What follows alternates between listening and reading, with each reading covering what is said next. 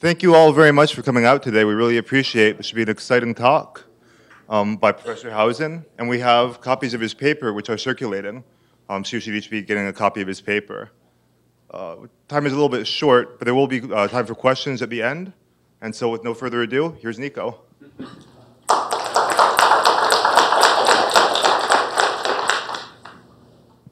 Thanks very much, Joe. Is that working, the uh, microphone? Yeah, okay.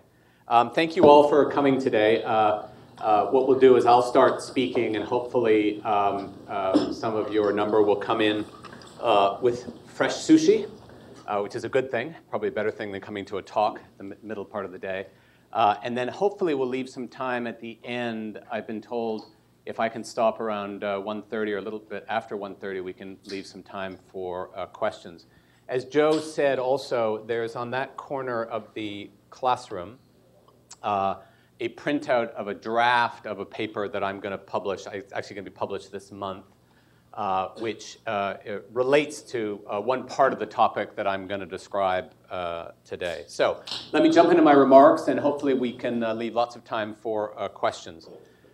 thank you, first of all, China Law and, is China Law and Policy or China Law Policy? Law, China Law and Policy Association and the Arthur and Toni Rembe Rock Center uh, for corporate governance for uh, giving me a, a, platform today to come to the Stanford Law School and speak to you.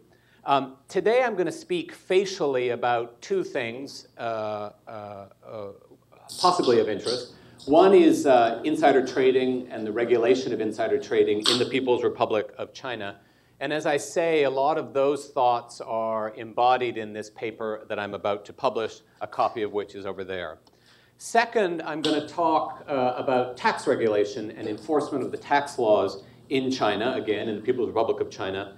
And here I'm going to draw on the work of one of my colleagues and friends, uh, Cui Wei, who's a professor at um, uh, China University of Politics and Law, uh, otherwise known as FADA to most of you. Now, it seems that I will be talking about the regulation and enforcement of insider trading and uh, taxation law. In fact, I think I'm going to be talking about a certain kind of progress or not towards what some would call rule of law in the People's Republic uh, of China. Um, it's easy now when we look at China to identify rule of law deficits in perhaps the criminal procedure sphere. We are used to seeing reports of people being deprived of their rights, being deprived of uh, lawyers, uh, not having the ability to cross-examine adverse witnesses, et cetera, uh, et cetera.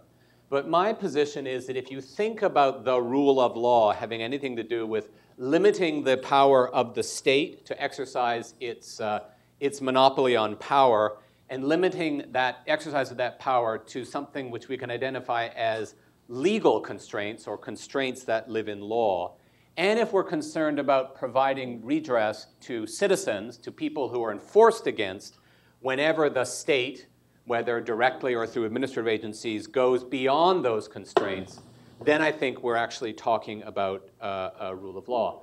Now, if you need a sort of a piquant or an interesting context to uh, digest my remarks today, uh, many of you will have read about the case of uh, uh, Ai Weiwei, who's a, one of the many sons of the wonderful poet Ai Qing, who recently was uh, put under house arrest and then is now is currently entangled in a, a litigation and a criminal defense uh, procedures with respect to his non-payment of tax or the non-payment of tax by a company that he apparently controls uh, in China. Now, uh, a lot of the reports have identified Ai Weiwei's case as sort of uh, payback for some of his uh, uh, quasi-dissident activity or his uh, pol- political resistance. But I will remind you that the case that has ensnared uh, relates to tax payments, tax law, and the enforcement of tax norms in China. And if Weiwei uh, was here today, I think he would find a great deal uh, to ponder in my presentation with respect to how legal, or as I'm going to assert, how illegal some of the norms uh, that are proffered in the Chinese context as legal norms uh, uh, truly are. And finally, my presentation today is uh, about an orientation that I perceive, and perhaps many of you perceive, in how government departments in China operate, the assumptions upon which they uh, operate. And then also, given the uh, wide room we have notionally for legal challenges uh, to some of this uh, uh, overweening action or breaching action by government departments, I want to note and consider the remarkable tolerance we see for perhaps illegal activity, or what I will assert is illegal activity by administrative uh, departments uh, in China. And I guess finally, if you take both of those aspects, the orientation of government departments, how they exercise their power and the relative tolerance among the governed for plainly illegal enforcement of certain kinds of norms, Maybe that will tell us something about uh, the state of uh, the Chinese legal system now, more than 30 years after reform and opening, out, uh, uh opening to the outside uh, world. Okay, first of all, um, this idea of administration according to law, or as you see it uh, in the Chinese documents continually, is um, yi fa xing zheng.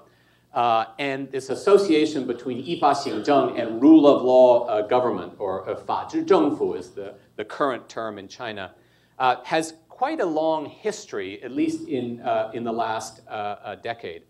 It relates to a problem that has been identified by academics, certainly, by journalists, even domestic journalists in China, certainly foreign journalists, and even the regulatory departments themselves in China. Um, in a word, what is the problem? The problem is that several, many government agencies in China act illegally. Now, it can be said that they act illegally because they act with no legal basis, no basis in law. It can be said that they act illegally because they act in excess of the scope of legally delegated power or power delegated in law. Or they act on a basis which is in itself not legal on the basis of a norm which is not an item of law or administrative regulation, but is instead some other kind of norm that comes from some other uh, kind of place.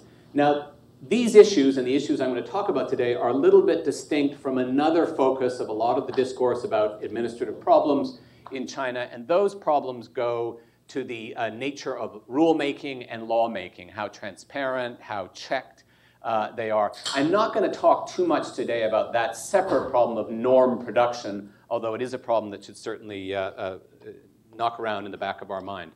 As I said, this is a problem which has attracted a lot of attention in official pronouncements and even legislation over the last 15 years. In 1996, uh, the PRC promulgated the Law on Administrative Punishments. Article 55 forbids the imposition of administrative punishments without a statutory or a legal basis. Article 3.2 of that same law invalidates administrative punishments that are rendered without a statutory basis. In 2004, the State Council uh, promulgated or issued something called an outline for implementing the full promotion of administration according to law. Paragraph one of that articulation of policy exhorts administration according to law and slams what they call illegal or non legal administrative uh, uh, action. Excuse me. Uh, paragraph 5.1 urges administrative agencies to act in accordance with what? In accordance with law and, uh, uh, and administrative regulations or departmental rules, and forbids administrative action that is not stipulated in law or things that are recognized as legal norms, i.e., administrative regulations. In 2008, the Chinese government promulgated regulations on open government information, or known as the Regulations on Open Government. Again, in that enactment, we see a presumption that all government information, including rules and norms uh, that are issued or promulgated, be disclosed publicly and transparently, and establish mechanisms to compel that disclosure to the public and also provide remedies to people who are, have these norms visited upon them uh, in, in a non-transparent way. In November of 2009, the P PRC Supreme People's Court issued a regulation which forbids specifically judgments rendered, case opinions, that refer to any norm that is not recognized as a legal norm, okay? So you can't say, I have decided the case between the plaintiff and the defendant before me based upon a secret norm or a norm that is not public or a norm that has not been produced via what we think of as the uh, legal system. Finally, in 2010, two years ago, the State Council again uh, uh, promulgated an opinion regarding strengthening the rule of law government, what I called a minute ago the Fazhi Zhengfu.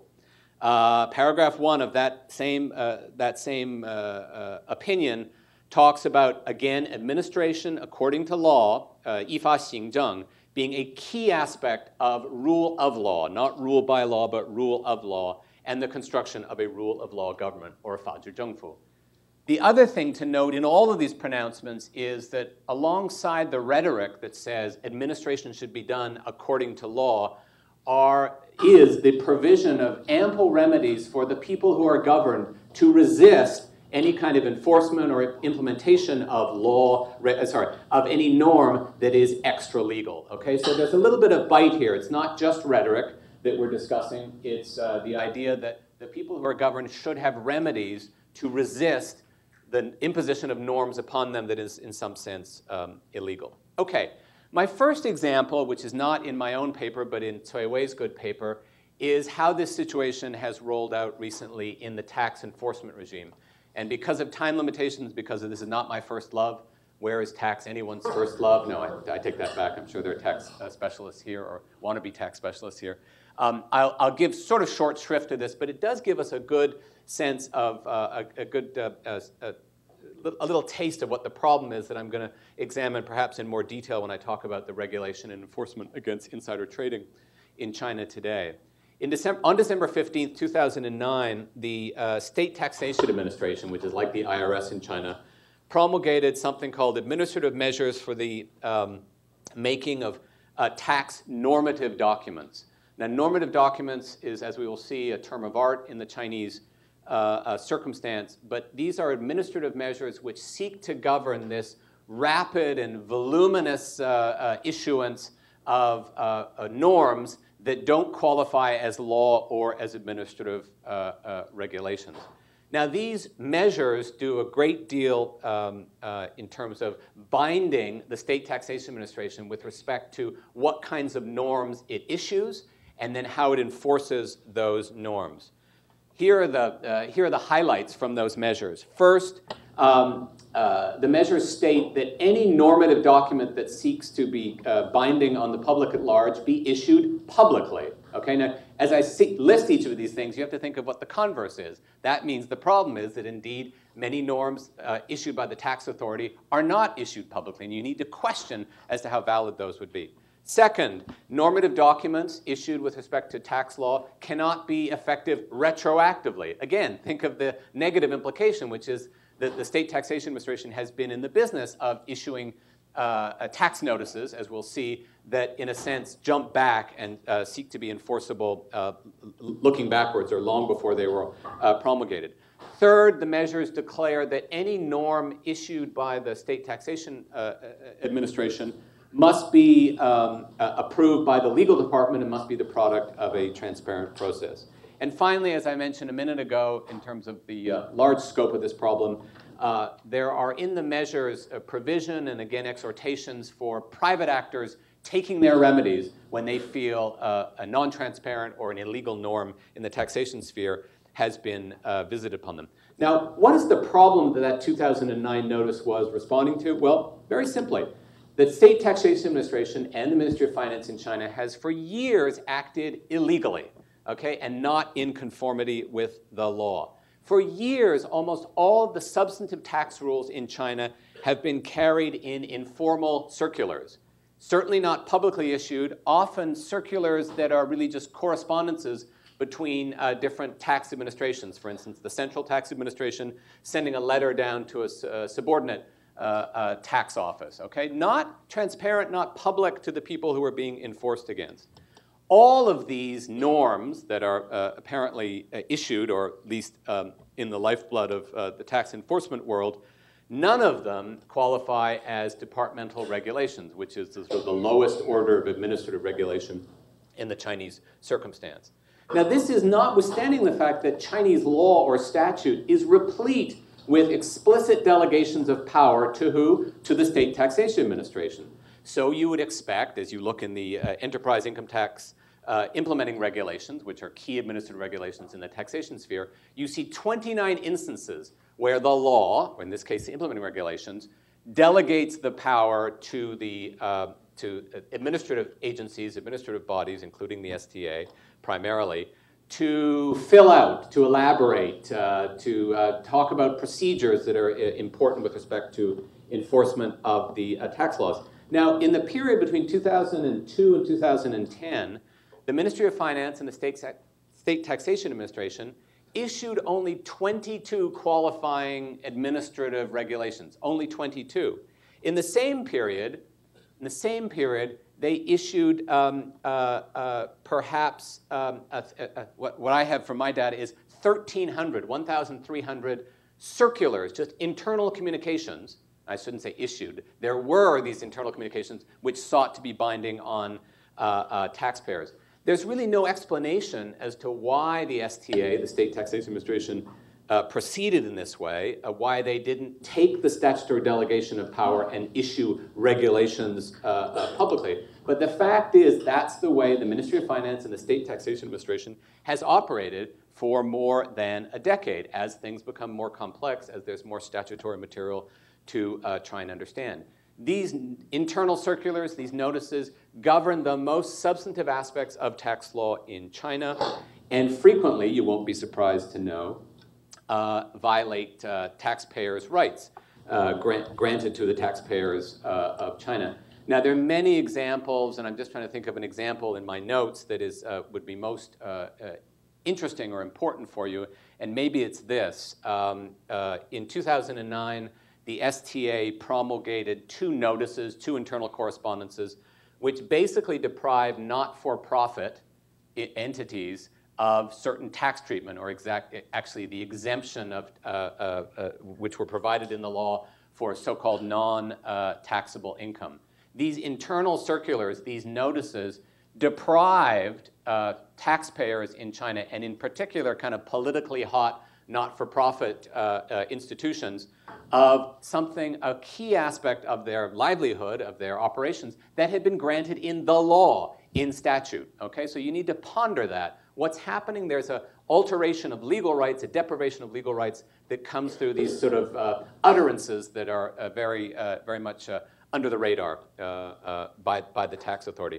Now, in this particular case, many foundations in China and actually foreign foundations wrote the state council and said, hey, this is a disaster. You can't deprive us of all those things that are granted to us in the law via this kind of secret norm that is promulgated, not promulgated, but uh, exists out the back door and is apparently uh, known to all. What you will understand when you understand Chinese law is that that uh, uh, writing the state council is actually not very useful in this circumstance because those kinds of norms are not reviewable, it turns out, by the state council or certainly by any judicial institution. And in fact, um, if the state council did wake up and say, geez, we really got to investigate this problem and determine if these utterances are legal or not, uh, they would only be able to do it, they would only do it on their own, sua sponte. They wouldn't do it in reaction to any kind of civil action or any kind of civil remedy. Okay, my second example, and obviously the one that's much closer to my heart, is I want to say more sophisticated. I don't think it's more sophisticated, but it's slightly more complex and introduces um, uh, introduces us into the weeds of, uh, in particular, U.S. and European insider uh, trading law. But I want to summarize what the problem is, and again, this is in, uh, you get a full helping of this if your eyes glaze over while I'm speaking now in the, uh, in the paper that we've uh, uh, provided. The problem with respect to insider trading enforcement in China now is this. First, the administ well, the not first, this is the totality. The administrative norm that is used for enforcement against insider trading in China presently is, in my view, and I think in any fair and considered view, illegal. And that makes administrative enforcement, enforcement by the CSRC, which is a department we'll hear a lot about, the China Securities Regulatory Commission, itself illegal. Uh, the worry, or the additional worry we have, is that the state prosecutor, the people's procurate in China, is using those same norms that I'm suggesting are illegal in an administrative context in the criminal enforcement context. So that says that not only is the enforcement illegal when it's just fines or um, disgorgement of illegal profits, it's also illegal in the criminal context. We have the people's procurate perhaps enforcing against defendants, sending them off to, for prison terms on insider trading based upon a norm that I'm going to assert very strongly, I hope, that is um, uh, illegal. Now, as you'll see in the paper, and as I'll try to describe in the minutes I have today, I believe that these norms are illegal for the following reasons. First, the norms that are called for in the statute that governs securities trading and issuance in China uh, uh, is not the norm that has been issued or is used or employed. The statutory language is very clear. The CSRC, and this is the last time I'll say the full name of it so you can listen China Securities Regulatory Commission. The CSRC has delegated power to do something which in Chinese is guiding, to stipulate uh, one aspect of uh, insider trading liability. They do not, in response, issue something which I believe is uh, commensurate with that verb form, to guiding. They do something else, and we'll talk about it in a second. Second, and this is perhaps more important, I don't know. Yeah, it's, it's, it's more important, it's less technical. The norm that they have used and issued is ultra vires on two counts. First of all, the norm addresses far more than what is asked for under the delegated power in the statute. And as I'll describe hopefully in a minute, what the CSRC is permitted to do under the statute is to fill out a list of additional persons with knowledge of inside information, i.e., defendants in an insider trading case. They take that power and they issue a norm which covers much more, much more than just adding the names or the status of different people who could be caught in an insider trading web. The second aspect of the ultra vires attack is, uh, is related to what I've just said. It's this there is a clear system for insider trading liability set forth in the China securities law. And I'll talk about that in a second. What this, these, excuse me, what I call illegal and ultra vires norms do is rejigger the system or the scope of liability for insider trading radically, almost completely undo what you are allowed to do under the statute and create a whole new world of liability. So that's the second uh, part where I say um, uh, that uh, that, that, that, um, that, that, that, it's ultra vires. Um, uh, and as I'll say, hopefully in my remarks, I think we have to, uh, we have to ask very serious questions as to why the CSRC, which I will declare up front, I think is the most terrific administrative agency in, in China. So this is not a backwater administrative agency where we would expect them to, uh, to be meeting with failure or putting out this kind of uh, what I call illegal norm. Uh, they really are uh, the very best. We have to think about why they're doing this. Uh, there's some cynical views and there's some not so cynical views, but also we have to consider why there is, as I said at the beginning of my remarks, such tolerance on the part of people who are enforced against, as I would say, um, uh, illegally. Okay, very quickly, a little tutorial on insider trading law, and this has nothing to do with China. This impacts upon how we decide whether or not there is uh, uh insider trading anywhere in the world. Some of you may know that insider trading law tends to focus on two aspects of activity. One focus is a, one focus is a focus on the who. Who has committed the insider trading? Who has traded on non-public material information for gain? That focus says that there are certain kinds of people, really defined by their status or duties that they have breached, who will be liable for insider trading if everything else fits. There's an alternative focus, which is actually much uh, wider, which says, ah, there is valuable non-public information out there. Whoever uses it, we don't care whether you're king, queen, pauper, insider, outsider, whoever uses that information should be guilty of, or potentially could be guilty of insider trading. Now, the two uh, ways we talk about those, as I will talk about in these remarks, is the first idea, the who, the focus on the who, we think of as a breach of duty idea. Somehow there are people who have breached the duty and, trade, and, and committed uh, uh, securities fraud by trading fraud by uh, trading on information. The other theory, which is broader, we call the equal access theory, and that really says that everyone in the market should have access, equal access, to this highly valuable information. The minute anyone touches up against that information and uses it for their private benefit, um, they should be guilty of insider trading. Now, just to give you a very quick example as to how this might work, um, posit uh, a drug company which is making a cancer curing drug. uh, and there's a CEO of said drug company. And the CEO of said drug company is actually a person who's uh, very involved in high society in New York, say, always having uh, parties uh, in, in, the Hamptons. One of his friends is a high society lady who comes out to the Hamptons to visit, to, to, to, attend one of the parties. Now, um, this drug company gets very bad news from the Food and Drug Administration in the United States, whereby uh, it turns out that the FDA is not going to approve the magic drug, the magic cure drug. And that news is communicated via fax, which comes into uh, the CEO's uh, office uh, at his Hamptons house. The high society guest is going to the bathroom and actually sees the fax uh, lying on the desk. Okay? She goes to the bathroom, sees the facts, goes, ah, looks like this company is not going to be such a good investment. I better do what? Exactly what the CEO is going to do on Monday. I didn't say this was a Saturday. On Monday, dump the shares in the, um, uh, the drug company. Now, the classical or fiduciary duty approach to insider trading would say that if the CEO, as an insider, who owes technically a fiduciary duty to all the people that he might trade with, if he dumps his shares on Monday morning, he will be guilty of insider trading. Okay? What's critical to understand is that he has a fiduciary duty as an insider at the company, as the CEO and probably the chairman of the board. The high society guest who merely sees the, uh, the bad information for the wonder drug has no duty to anyone, right? Is just a guest who has uh, happened upon this very, very important and very valuable non-public uh, information.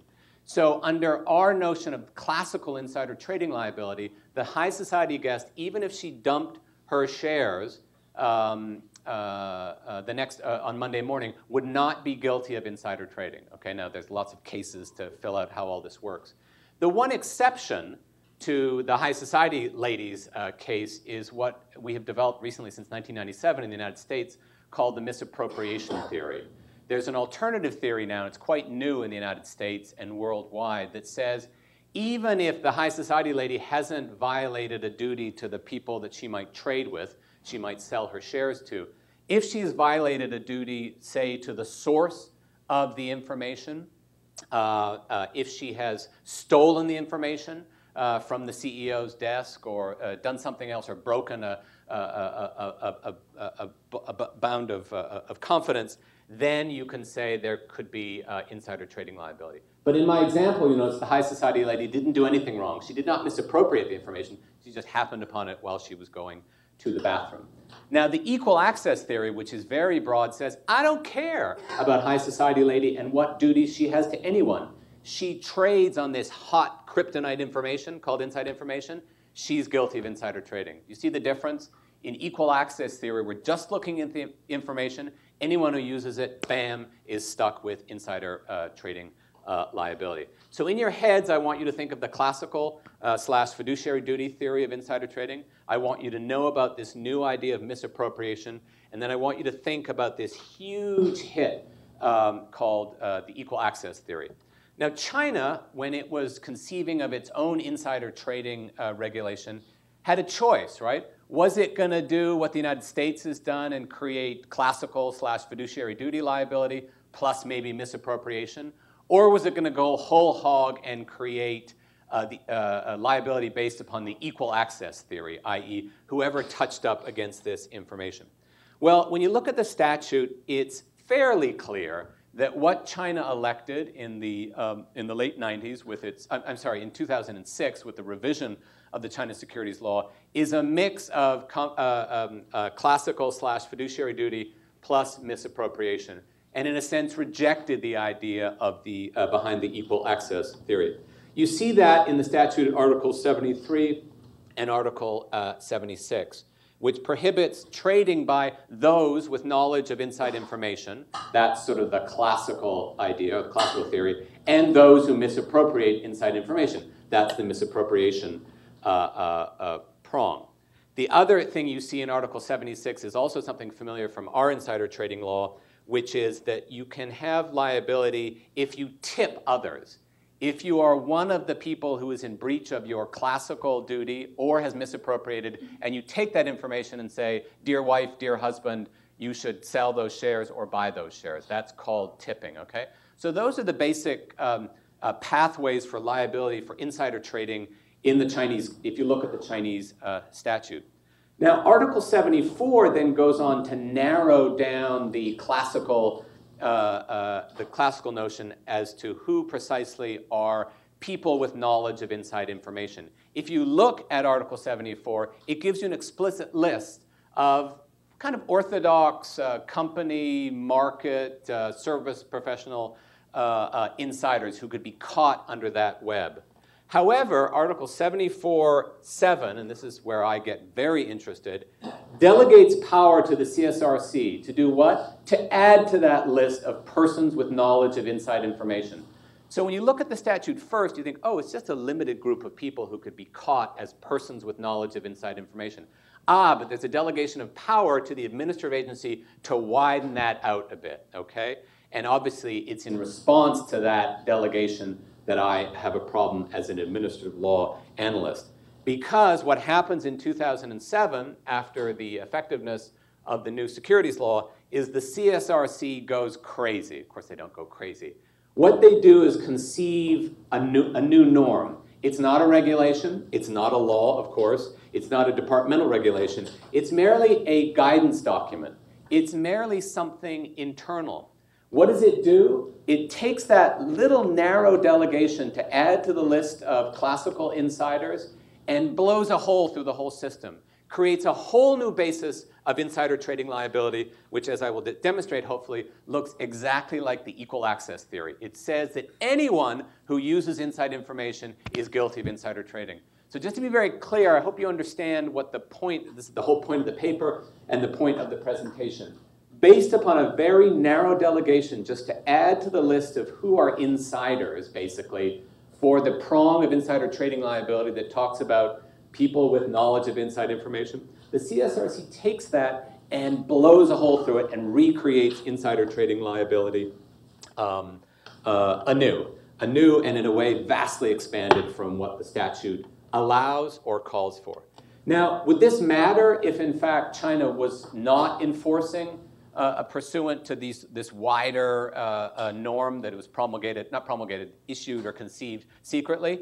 Probably not, but that's not the facts. The facts are, and my research shows, and you can all uh, look at the CSRC uh, decisions, the CSRC is right now enforcing insider trading pursuant to these, uh, the, the guidance document, these illegal norms. And they're doing it in cases where they couldn't capture insider trading pursuant to the statute. So I hope everyone is very clear and you see the abuse. Authorized under statute and administrative regulation to attack a certain kind of activity, which they call insider trading, the CSRC as an administrative body is actually swallowing a whole bunch of other activity pursuant to this other norm, this guidance document. Okay, and that obviously should cause us all to pause. Now, because I only have a few minutes left, I won't go into the very searching and probably incredibly boring analysis as to why there's a problem with these, with the guidance document or the, the, uh, the guidance. And again, some of that's um, uh, addressed ad nauseum uh, uh in the paper. I'll just give you the summary, which uh, is actually a repeat because I think I gave it in, in the introduction. First, 74.7 of the securities law authorizes the CSRC to 规定, to regulate uh, uh, other people, uh, to list other people with knowledge of inside information. In fact, what issues, or doesn't issue, what is conceived, is not something which is responsive if you look at either the text of the securities law or other laws in China which talk about what is valid administra administrative regulation. Do, what issues does not conform to that verb to, uh, to Guiding. Second, as I've also uh, described, and I would love to, well, maybe I've already done it by telling you what classical insider trading law is the norms, the guidance document that is now used for enforcement is completely and totally ultra to what the statute offers in terms of insider trading liability. First of all, the guidance, which is responsive to Guiding, to Guiding what? A couple of extra people who might be persons with inside information, knowledge of inside information, does much more.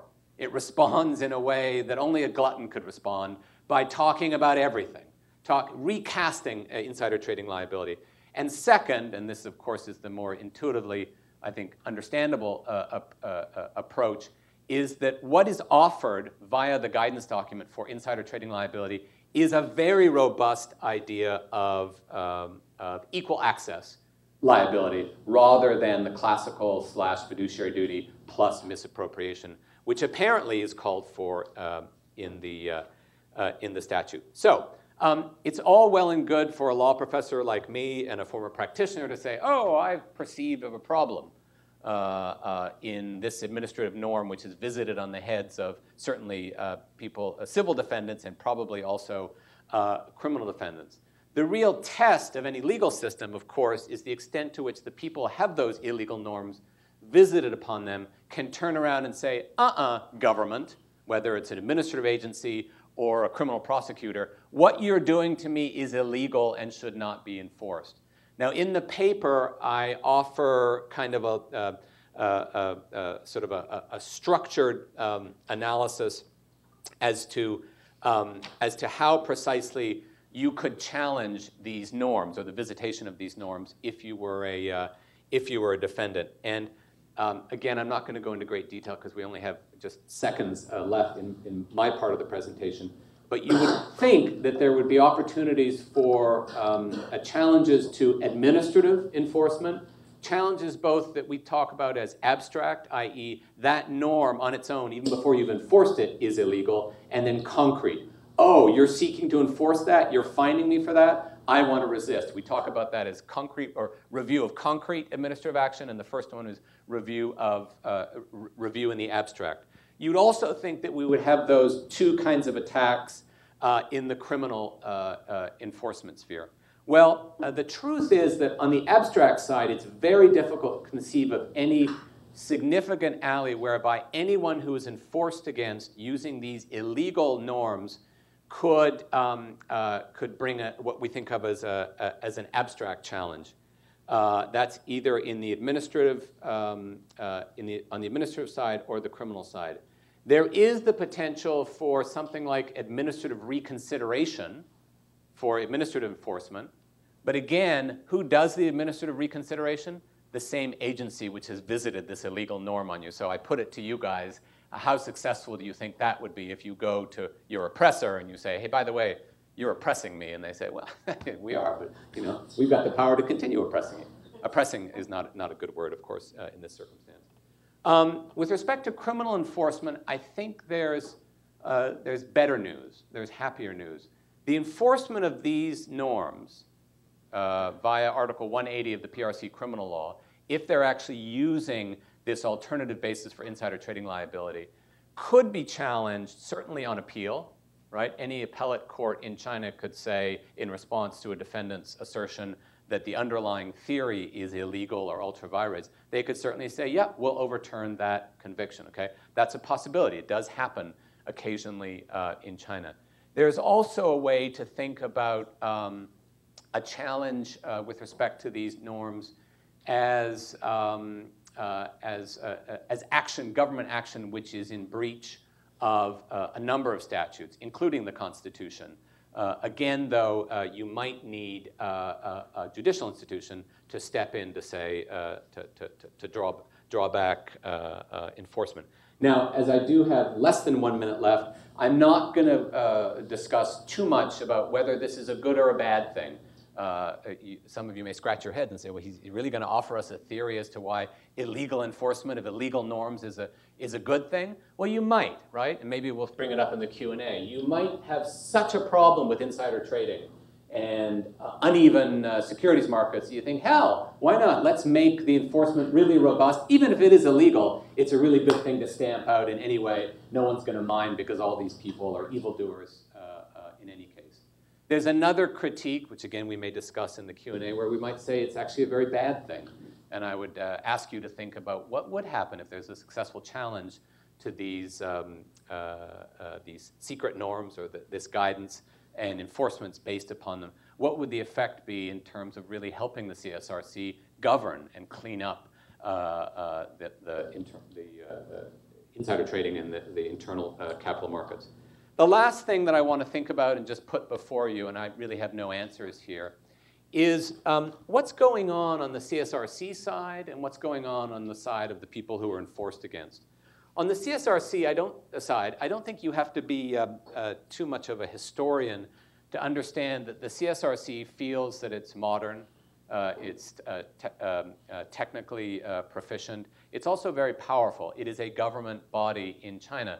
Those of you who've grown up in China will understand that if I invoke the actions and the assumptions of, say, the magistrate in the Qing dynasty, it's not that far, this idea that um, uh, government departments really have the power to act in a quite arbitrary and non-reviewable uh, uh, fashion. Now, th th there's more there than we can talk about in a, in a, in a, in a context like this, and it's probably, um, it's probably too synthesizing a comment, but I would, I would ask you to look at that. I would ask you to understand if there's anything about the way the CSRC has acted in this specific regard which pertains to the long history of how administrative uh, institutions, quote unquote, legal institutions, uh, act in China.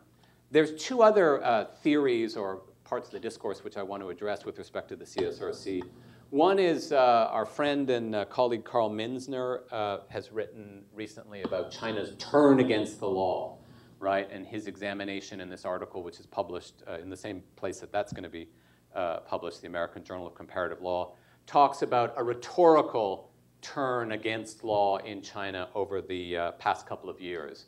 Uh, uh, and he, he, sees indicia of that in, in many ways. But basically, it's a, an idea that perhaps legal institutions can't do all the work um, uh, that, that, we thought they could do. This is in the Chinese context, and perhaps uh, uh, they should be more political rather than legal. I don't really see this problem as part of China's turn against the law, which I don't actually buy into myself uh, in particular because this has all been apparent from long before Carl's identified turn against the law. Something which may be of more use is Ben Liebman's idea of uh, the populist influence on the legal system.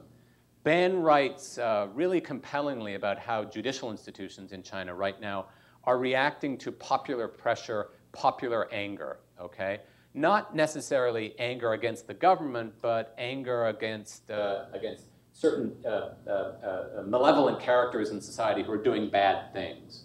Often you'll see um, the political committees that are attached to courts rendering a judgment, uh, enforcing the law in a way that really sticks it to people that everyone seems to agree. If you look at, you know, Weibo and uh, all the all, all, the discourse in China, people uh, pe people who other people really believe deserve to be thrown in prison or killed or um, uh, uh, you know, other, otherwise uh, penalized. I think that's interesting in this context, or the context of the presentation I've made to you.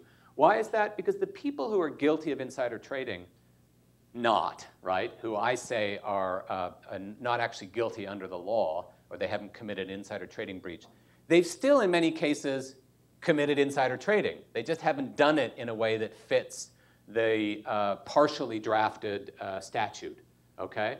Uh, the only problem is, of course, that the CSRC is sort of uh, overreaching. And then you think, well, maybe the CSRC is reacting to popular pressure. Maybe they're saying, look, there are people who are manipulating for private gain our securities markets, so who cares? Who cares if what's visited upon those bad persons' heads um, uh, is the idea that uh, is something which is, which is illegal. We talk about this as sort of a bad law being used on bad actors, and I, I think there may be something um, uh, to that. For the other side, um, uh, I'm not sure if I'm able to divine as to why there is such tolerance, and Wei writes about this as well in the tax sphere. The problem is that there's tremendous tolerance for all of these illegal norms being visited upon certain uh, defendants. Now, some of that may have to do with the Chinese citizenry's idea as to the power of the government and how government actors are supposed to act and how they're enabled to act, and regardless of whether or not they have law uh, uh, behind them. In the insider trading case, there may be particular circumstances. As I've said, many of these people really are guilty of insider trading, right? They did, uh, they did trade as a tippee. As a tippee, there's no liability under Chinese law, but hell, you know, if you've, if you've taken a tip from your husband or your wife and you've traded on inside information, you might think, well, I'm guilty. You know, it makes sense that someone is going to uh, find me or make me disgorge uh, uh, uh, profits. Also, I would ask you to note that in an insider trading prosecution, as in a tax prosecution or enforcement action, there's not a big group of people, right? We see a lot of resistance right now in China uh, through the legal and the political system to kind of these large-scale hits on rights, whether it's um, you know, large-scale environmental torts, uh, land relocation, even securities trading. Fraud in securities issuance has conjured up a big appetite for group actions. You don't really have that in this case in either tax enforcement or insider trading, and that may take away some of the collective uh, resistance or the idea that, uh, that you could resist. And there are other legal institutional things which I can uh, uh get into. Um, so uh, I'm going to conclude there because I'm, I'm way past time, and I welcome any questions. But I hope you understand that my, the, the, the, the nugget of my presentation is to describe, uh, really from an administrative law uh, point of view, serious problems in China's administrative law state, which is kind of ironic because if you think about it, administrative law comes from China, right? What we celebrate in this country and in Europe as administrative law, uh, law uh, acted via uh, agencies pursuant to delegated power, is completely the Qing bureaucracy, right? So think about how oh. ironic that is. Thank you.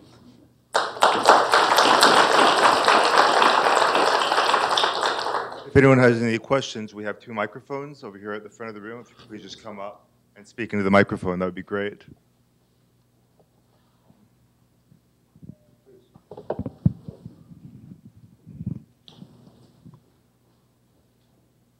Hi, I just have a, a quick question. I'm just wondering uh, why. Can you tell us who you are and where you're from, too? Oh, hi. Um, I'm Alan student, and I'm from Taiwan, and I'm a um, LM student here. And uh, my question is regarding uh, what do you think? What is what makes the difference uh, to make uh, the CSRC they adopt a different theory uh, comparing to the Securities uh, Securities Act? Because um, um, I'm thinking that. Um, if um, CSRC they, they want to adopt the equal access theory, why not they just suggest uh, revising the Securities Act? Is it because uh, it is very difficult to uh, make amendments to laws in China, or just because CSRC doesn't think that uh, it's an it occurs there's any ultra vires issue involved? Yeah, um, I think they're very well aware, by the way, that there is an ultra vires problem. Uh, I'm going to be in Beijing next week, and I'm going to go speak to the CSRC about it. So that's that's the last part of your question. Um, note that the uh, the guidance document, what I'm asserting are the illegal norms, came out in 2007. That was just after the the, the, the wholesale revision of the securities law in 2006, right, or end of 2005, but effective beginning of 2006. So what clearly happened, I believe, and you know, I can confirm this with the CSRC and, and, and various departments, is that they were pushing very hard for the new statute to encompass something like equal access liability. It didn't happen. There's not a lot of change between the 1999 statute and the 2006 statute. So they saw that missed opportunity in a sense and then said, oh, we have this little sliver of light to add to the list of persons with knowledge of inside information. Let's use that and drive through it what I'm calling, and what they would call, I'm sure, equal access liability. So I think, in a sense, uh, the last time there was a big amendment, uh, granted, it's very difficult to amend the law in China, they saw that there was no, uh, there was no amendment forthcoming to widen insider trading liability. So they said, we'll just do it via this guidance document. And that's a bit scandalous for me, and I think anyone who cares about the Chinese legal system, because it's not a public document. It's not an administrative regulation. It clearly uh, has no binding force of law, even before you get to the ultra vires problem. So that, that's very disappointing, actually, is, is probably a better way to talk about it. But I hope that's clear. Uh, Professor Howson, thank you very much for the talk. Uh, my name is Zhao. I'm a 2L here. Uh, I have a quick question. What do you think is the economical consequence of the illegal enforcement of the insider trading uh, in China? Um, at this point, I don't know, right? Uh, my worry, as I think I indicated in, my, in the time I had in my remarks, was to say that if there is any uh, resistance to enforcement, which is something that all of us as lawyers, I think, or people concerned about administrative law, we'd celebrate. We'd say, that's fantastic. This is really rule of law in action, right? This is the citizens pushing back against uh, illegal conception and enforcement of law. At the same time, or on the other side, if someone does destroy, overturn all of these enforcement actions that we've seen even before 2007, that only makes insider trading in the Chinese markets, which is very serious right now, even more costless or totally costless, right? It says to the world, to all the people who want to uh, inside uh, trade, go forth and prosper, go forth and, and continue uh, insider trading. So I don't know if that's a coherent response, but uh, my worry, as a lawyer, I'm very keen that someone challenge these norms because I think it's a key aspect of what rule of law is. As a lawyer or as a securities law specialist, I'm very worried about these things, these enforcements being overturned because I think that the result is, is a great deal more insider trading. So on a related note, how many, uh, what's, what's a percentage do you think are the um, uh, cases that are caught in comparing with all the potential uh, uh, insider trading activities in China? And I think your question is what percentage of cases um, are uh, enforced against on the wider basis where they couldn't get to them on the I don't know, uh, and that's the kind of work that you know I would have to do with my own eyes to look at each CSRC uh, uh, decision, and I haven't done that. What I have done for this paper is identified quite readily, by the way. It didn't take very long. Just reading, you know, I, I, I think I read less than 50 decisions. Uh, uh, uh, you, you identify a whole bunch where the basis has to be the illegal guidance. It can't be the statute. And one of the things that's very interesting um, I think I cited to a Supreme People's Court notice which says that you are forbidden now from citing to non-legal or administrative regulations in any case judgment or any administrative judgment. What's fascinating when you look through all these cases is that they just cite to the statute. They say, uh, Mr. Zhao uh, was a person with knowledge of inside information, even though you're the husband and a tippee. Doesn't work, right? But you read it and you go, ah, that's why, because they know they're prohibited from alluding to the guidance and they know that that would be illegal anyway. So. Thanks. Thank you, Professor Howson. Uh, my name is Randy Wu, and I'm a 3L. Um, so, I, my question is in a way a follow-up to that. I was wondering um, to what extent the uh, the people's courts have the authority or the power um, to um, to, to uh, perform judicial review of administrative actions taken in accordance with these informal guidance documents. That, and that's in the paper, and I sort of sum, tried to summarize it very quickly. They do not, as you probably know under the administrative litigation law, have the power to do abstract review, to on their own say, regardless of whether or not that norm is being enforced, it is illegal, it's ultra vires, it's not the thing asked for under the statute. So that's off the table. The more significant question with respect to these norms is whether or not courts can do what they do with respect, or what they can do with respect to lots of administrative regulation or departmental rules, which is say, no, the enforcement, the, this is concrete review, the enforcement of that norm uh, is not justified, is not good, uh, uh, uh out you go, uh, administrative body.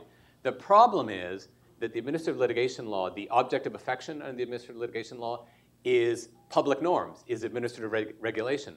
This guidance is precisely not that. Okay, so then you despair for a moment until you see an opinion from the Supreme People's Court which says that what concrete acts are also reviewable in addition to administrative regulations? Administrative guidance of uh, binding force. Okay? So there's a little glimmer of daylight in the Supreme People's Court's own, um, uh, own opinion on how we're to construe the administrative litigation law that we may have the basis if we can see that this is an administrative guidance act which is actually being enforced. And I'm here to tell you that it is being enforced. So that's the little glimmer of light. But to date, we haven't seen any of those cases. And I don't know if that's because the defendants have not stood up and said, I resist, or because some have stood up and said, I resist, and a court somewhere has said, uh, we're looking for an administrative regulation.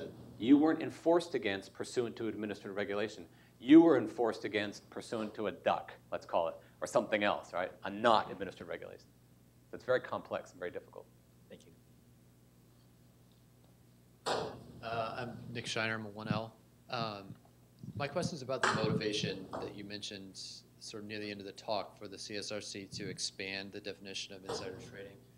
If they're motivated by responsiveness to uh, public sentiment, um, that these insider traders are bad actors and maybe they're not being sufficiently punished under the more narrow definition, um, one, where do you think that motivation comes from? Is it is it coming from above the CSRC?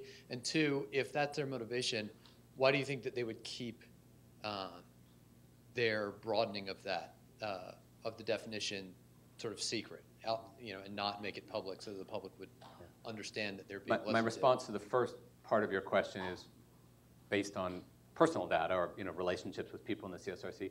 These people are almost to to a, to a fault highly professional, very committed, and certainly the people have a lot of influence on how the how the law is used and enforced, uh, and are really committed to trying to create more level, fairer, more transparent capital markets. So.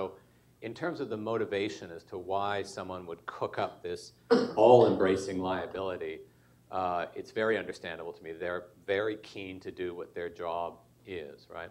The next question is harder to answer in any coherent way, and I tried in my remarks. And it's only to say that uh, I believe those same people, as well intentioned as they are, are situated, embedded in a bureaucratic culture uh, and an idea uh, where there's a great deal of assumption of power, right? An assumption of, in particular, enforcement power. They clearly didn't get what they wanted in the renewed statute in 2006. So they, so they said, uh, not, not to hell with it, no one says to hell with it, but they say, we know what the problem is, we know what the rat poison is we need, we're just going to smuggle it through this other document, and we're going to go forward until someone calls us on it. And that's the other question is why is no one calling them on it other than a know-nothing foreign scholar in Michigan and Berkeley and Berkeley and Michigan. Thank you. I guess my question is related, sorry, um, Who are you? Yeah. sorry, I'm, I'm Emily, and I'm a student here. Um, the question really is the difference between the tax case and the, and the insider trading. The difference is it seems like under tax, there seems to be a lot of pressure coming in from up top that says you need to stop doing this. What accounts for that difference between the tax enforcement case and the insider trading cases? I don't know. I, I don't know. I, I'm fascinated uh, by, in the tax case, it's the Ministry of Finance and the STA itself which pushed out uh, this, um, this regulation. Now, I think here's a partial answer. The taxation uh, administration bureaucracy is much more diffuse than the CSRC. So understand there's, of course, the STA in Beijing, but then every locality has its own tax administration. So what we understand was happening before was that those local administrations were burping out tons of material. So it's tax- central local. I think, I think. Whereas the CSRC, there are local CSRC bodies, but they're terribly disempowered. All the action is at the top or in, in Beijing with respect to the. Now, your question's a great one because one of the actors, or two actors that I haven't invoked and we should invoke, are the Shanghai and the Shenzhen Exchange. They also are in the business of, it's a constant struggle, but drawing some power to themselves. I wonder if we might not get resistance from them, almost as a matter of bureaucratic politics. Because they, they have the same interest, contra insider trading, but they may say, come on, CSRC, you're screwing up on this one. I mean, what's interesting about this, though, in terms of incentives, is I don't think it's immediately obvious that all bureaucracies have incentives to expand power. I mean, I think that Absolutely it's right. intuitive but not necessarily true. And you get cases in China when it comes to things like, um, you know, um, trademark, patent rights, in which the bureaucracies have power but don't want to do anything about it. And I'm wondering what about insider trading is that makes people want to have take on more burden. And I think the explanation that these people are simply more motivated is not really that satisfactory. I mean, that these people are more professional and more dedicated to their jobs as opposed to people in other Oh, oh other oh no, but, it might help explain when you understand the statute is kind of half baked, right? Just think about tippee liability. Mm. You're sitting in the CSRC, you look at the statute, there's no liability for tippee trading. No, no way you can read that into the, into the statute, right? So you're a responsible person who's concerned about insider trading. You know a lot of the insider trading in the Chinese markets is what we call tippee trading. You go zoot. No, you don't go zoot. You go, uh, I won't say a bad word in Chinese. You say darn, right? I can't get that, but I can get it if I blow a hole through this, uh, through it via this uh, administrative. That's consistent with a, with a, with a publicly interested, pro-enforcement administrative agency. I think. I mean, I think that's contrary to my view of what most bureaucrats do is that if I don't have the mandate, it means I don't have to do the work, as opposed to, oh, I want to accomplish this goal, but the law doesn't give me as much say as I Yeah, the CSRC is quite different then. Oh, It- yeah. It, it really is. This is my experience over you know 20 years. there, there, there's some very significant, very intelligent, very uh, well-intentioned actors. I think, know. Yeah, I mean, that may be the case, Yeah. just, you know, that's not my impression. And the tax authority, boy, we don't have a question there, right? Everyone wants to tax more. If you please speak into the microphone, because it is being recorded. Okay. So if you don't speak into the microphone, it's not picked up. Okay, Joe sure. will not Uh, throw the yeah, microphone at you, Yeah, thanks a lot for your talk. Yeah, my name is Lim. I'm a visiting visiting scholar at Stanford Law. Um, my question is regarding the effective solutions to solve the severe insider trading issue in China. Uh, actually, we know that there's no fiduciary concept and no equivalent fiduciary duty under Chinese law, even though we have statutory duties for directors under the Chinese Companies Act, whereas uh, their scope and the extent are not comparable to the fiduciary duty under common law. So, do you think that the adoptions of the fiduciary duty concept or the expanding of the scope of, fid- du- of the du- uh, statutory duties under the Chinese Companies or Securities Regulations Act would be an effective Yeah, way? Great, great question. And um, uh, in fact, Article 148 of the new company law, I think, does, as you say, uh, describe uh, fiduciary duties of directors and officers. Now, if you understand that our, in the United States, certainly our ins- early insider trading law was predicated on precisely that fiduciary duty, not nothing to do with the securities trading sphere, but in the corporate law context, that might help someone, it might inf- help inform some kind of decision maker uh, as to the presence of a breach of fiduciary duty. I don't think you need that, though, because I think you have under Article um, 74, you have sort of a proxy for fiduciary duty. Who are the persons with knowledge of inside information? They're people that we think of as fiduciaries. So I think, I don't think we have to do the extra work, the extra wondering about somehow injecting fiduciary duty from the corporate sphere into the securities statutory sphere. I think we have it. I think all we have to do is stick with the law. And if the CSRC has the power to expand the list of people that we think of as fiduciaries in the marketplace, then do that. But don't, you know, ditch the whole fiduciary duty basis via the guidance.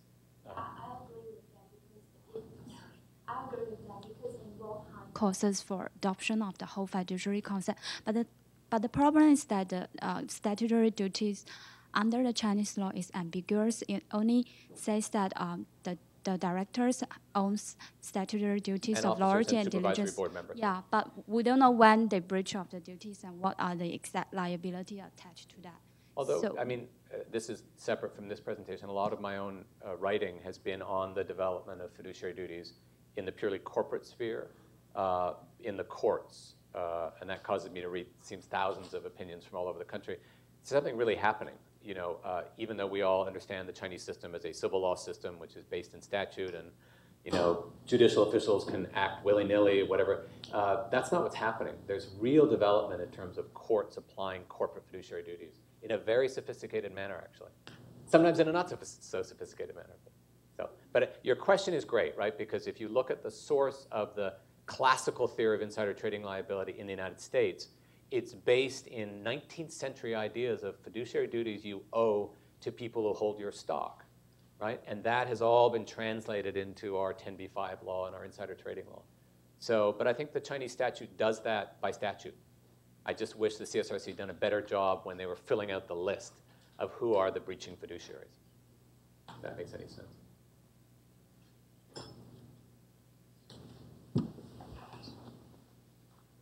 Jake, I'm a first year student. Um, I don't have a, a great background in, in Chinese history or, or, government, so I apologize if this is kind of a very obvious point. Um, um, the question, I guess, is in describing these activities as illegal, it kind of presumes a certain hierarchy of laws of statutory authority. You yeah. just described China as a civil law country based on that. But I'm wondering if these kind of internal guidelines that aren't even you know, published regulations are, as you describe them, actually being enforced and then not even resisted at what point does it start to make sense like this is kind of the real deal? And, and does this become interesting because it is so uncharacteristic of bureaucratic activity elsewhere? Right. I mean, there was a part of that in my remarks, but I would remind you, and it's in the paper again ad nauseum, and people would be on the floor asleep and never to wake up if I talked about it.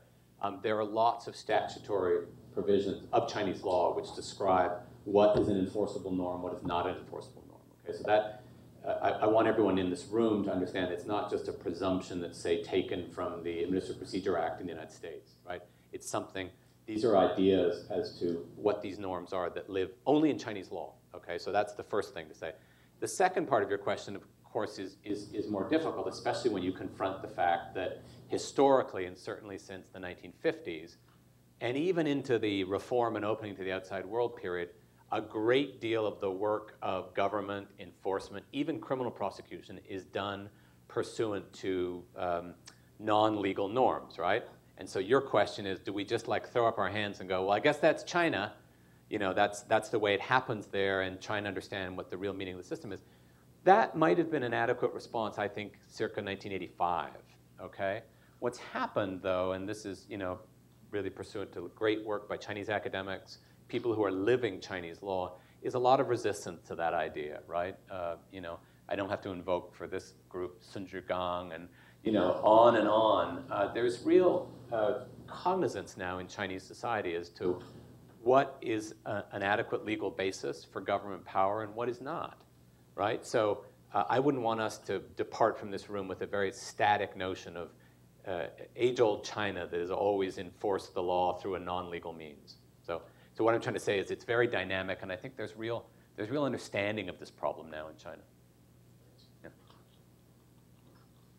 I have a question also. Might ask first.